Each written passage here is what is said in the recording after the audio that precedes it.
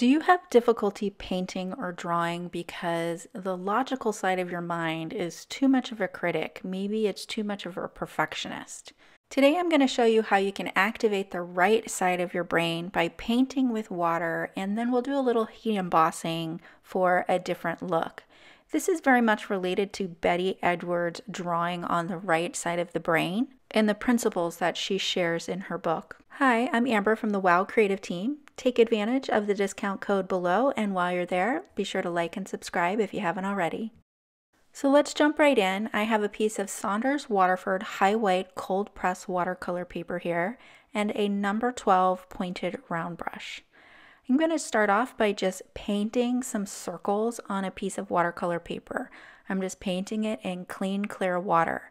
Now, the beauty of this is that if I, I can't see what I'm painting at all, you're going to see me lift up the paper and even then it's difficult for me to see where I've painted and especially when I put it back down, I can't see those previous circles. So I have no idea if what I'm painting is actually turning out like a circle, if it looks more like a boulder or a stone, if I'm not getting all of the parts. So the left side of my brain, the logical side, the analytical side, the side that says that circle isn't perfect, let me try to perfect it, isn't able to kick in by just painting in water without that ability to really scrutinize what we have there. I'm going to come up with a much more artistic piece here because my right brain is taking over. So, really, what I'm looking at here is I'm thinking about the edges of the circle and the negative space that's in between these circles that I really can't see. So now I'm going to take a WOW embossing powder, and this one is called Judith's Blush, and I'm going to sprinkle it over my paper here. Now it's going to stick to the wet parts, and we're going to see what we've painted with this water. And I can see that I missed some areas. They're certainly not perfect circles by any means. But if I had actually been painting this with paint or a color and I could have seen those circles, it would not have turned out as artistic as this or as loose as this. And I probably wouldn't have liked it as much as I actually do. I would have been really focused on how perfect are those circles. Here I have the Wow Heat tool on the highest setting and I'm just melting the embossing powder and heat setting it. So I actually filmed this video and I was doing, I was looking for an art book for my daughter for Christmas and I came across an interview with Betty Edwards, who, as I said, wrote Drawing on the Right Side of the Brain. So here I'm going to add a smaller circle. So I switched to a number eight round brush and I'm roughly going to add a smaller circle on the edge of each one of these larger circles. And as I was watching this interview, I was totally fascinated by it. So I have the book on order and I definitely can't wait to read it. But as I started editing this video, I realized that because I had painted this in water and I couldn't see what I was doing, what I was doing was activating the right side of the brain. So, similar to the principles that Betty uses in some of the exercises in her book. So, it was a really interesting concept that I hadn't really thought of before. I mean, I knew that definitely um, perfectionism and wanting things to look quote unquote right definitely holds me back and can make art and drawing frustrating.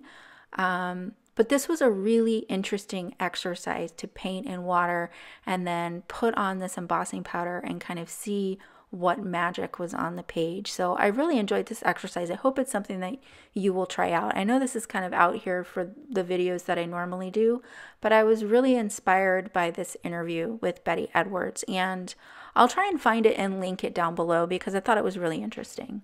Okay, so I'm dropping down my brush size one more time. So this is a number six round brush. And this time I'm gonna add like um, little grouping of three lines or vertical dashes. And again, I'm just adding those um, somewhat connected to those large circles. And I can't see them. I don't know if they're spaced evenly. I doubt that they are, but we'll be able to see what it looks like when I add Eula's Cognac. And so this this embossing powder is a mixed granule embossing powder. So it has like this yellow ochre, but there's also some metallic gold in this powder as well. It's just gorgeous. I'm really enjoying these new powders, which are a collaboration with Alexandra Renke. They're just so pretty.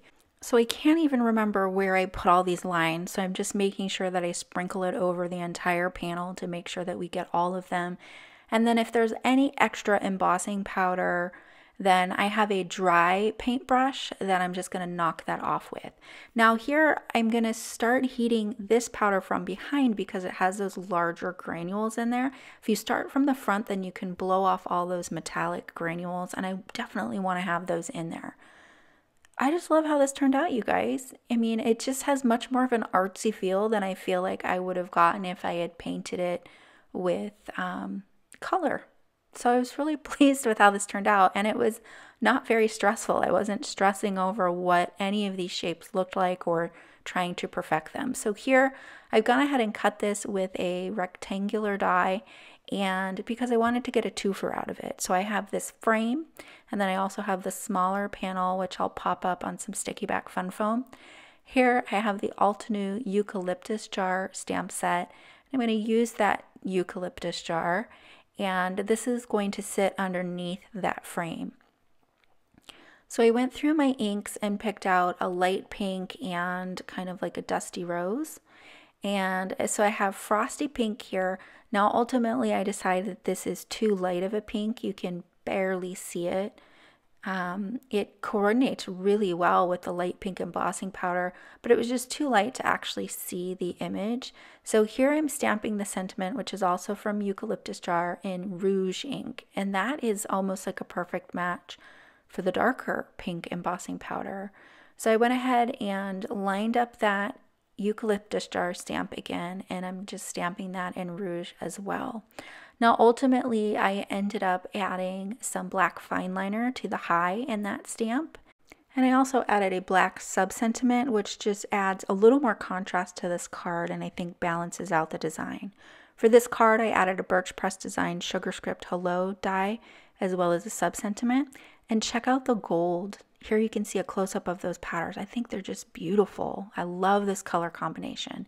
Here's a little sneak of the next card that we're going to do, and we're going to do the same thing. We're going to paint with water, and then we'll heat emboss what we painted.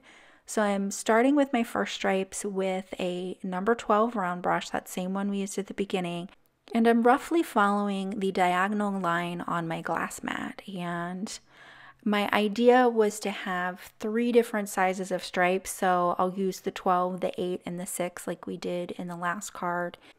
And I wanted to see more of that metallic gold from that Eula's Cognac embossing powder. So with the thickest stripe, that's the color that I'm going to use. So this card is definitely going to be more bold. Um, whenever you have a mixed powder like this, you want to make sure you shake it before you start sprinkling it on, you can see those large granules there. And I had a huge surprise that they're literal that what that area wasn't wet at all. Even though I had good contact with my brush, it totally wasn't wet. So right about at this time, my left brain was kicking in, and I was like, oh, yeah, no, this is not working for me. I don't like it. I don't like that broken line. I don't like how there's a lot of pieces missing but I really had to kind of shove that down and say, no, we're going with it. So I kind of put the critical side of my brain aside and went with the right side and went back to focusing on edges and negative space. And it was this is the number eight round brush again. So I've stepped the brushes down one more time. And you know, then I was looking at that negative space of that stripe that was incomplete, and I thought, okay, well, that would be a perfect place for a sentiment.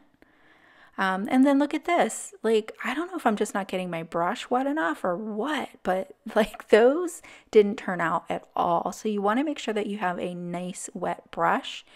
Um, and the water is obviously going to dry quickly. So you want to put your embossing powder on and then heat set it right away. You don't want to wet or you don't want to wait rather and do the other colors.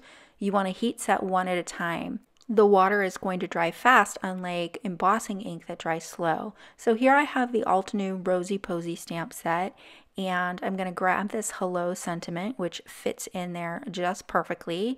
And the O is going to overlap that embossing just a bit, which I think is great. Again, that adds to that kind of artistic feel to it. And look at it, it fit right in there. So I'll pop this up on Sticky Back Fun Foam as well so it gets a little dimension. And here you can see a close-up of those metallic granules. I love the texture of that um, embossing. And I think this color combination is just so special. I hope that you guys enjoyed today's projects. I know that it was a little bit different than what I normally do, but as I said, I was so inspired by Betty's interview, and again, I will link that down below. Her book was originally printed in 1979, but I don't have any formal art training. And in my family, it was my sister and my uncle who were amazing artists. So I didn't really become artistic until I was an adult because that was kind of my sister's role. So I'm definitely excited to learn from this book. If you learned something from this video today, please show your appreciation by hitting the like and subscribe button down below. Thanks so much for joining me, and I'll see you soon with more inspiration.